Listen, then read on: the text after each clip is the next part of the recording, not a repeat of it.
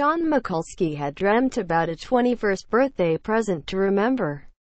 but he would have done well to improve on the gift he delivered for Newport County as his winning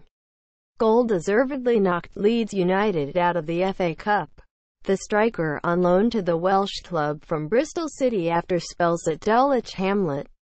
Walton Casuals, Weston-super-Mare, Torquay United and Bath City came off the bench to score a 89th minute winner to put Newport into